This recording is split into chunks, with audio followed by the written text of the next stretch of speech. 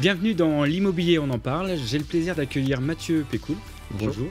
Vous êtes chef d'entreprise nantais. Avec votre associé, vous avez créé Primalis et vous faites partie des belles références régionales. Deux sujets aujourd'hui, les avantages du neuf pour les particuliers, les avantages du neuf pour les communes. Un petit mot avant de commencer? Merci de l'invitation. Mais de rien. Donc on le sait, les avantages du neuf, c'est des frais de notaire divisés par 3. Ce sont 21% du prix qui viennent en réduction d'impôts. Et puis on a aussi 15 à 30% d'économie d'énergie. Est-ce qu'il y a autre chose à rajouter, M. Pécoul? Vous avez cité, oui, quelques avantages liés au logement neuf. Euh, de manière plus globale, euh, c'est aussi investir de nouveaux quartiers qui euh, sont tournés vers l'environnement.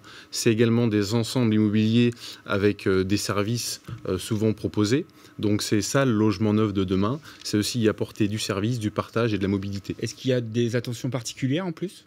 Bah écoutez, euh, en plus, oui, euh, on peut euh, proposer des logements sur mesure. On y apporte dans tous nos logements également des surfaces à vivre extérieures de qualité, parce que et dans ce contexte qu'on connaît, c'est très apprécié. Monsieur Pécoul, quelques détails sur votre entreprise? Primalis, nous sommes promoteurs immobiliers privés nantais. J'ai créé cette société avec mon associé il y a quelques années maintenant. on réalise environ 4 à 500 logements par an. On a commencé sur Nantes et puis maintenant on s'est étendu à la région depuis quelques années maintenant. Vous parlez de logement. Justement, on voit un très bel immeuble de bureau Odyssea à Atlantis Complètement, c'est une belle référence pour nous. Euh, c'est une activité qu'on a développée il y a quelques temps maintenant. Et on a d'autres projets euh, de, bureaux et celle-ci est une belle vitrine pour euh, Primalis et notre activité tertiaire. Alors on le voit, la construction du neuf se complexifie. Quelques mots dessus? Oui, ça se complexifie, ça, se réglemente de plus en plus. Euh, ça laisse pas de place à l'à peu près. Euh, il faut euh, une équipe rigoureuse et passionnée. Ça tombe bien, c'est ce qu'on a chez Primalis et je suis le premier avis. donc voilà, aujourd'hui, comment on conçoit nos opérations. Vos équipes, votre entreprise, votre développement futur, quel est-il? Alors le développement sera maîtrisé, euh, ça ne sera pas une chasse au volume, sera encore une fois en région.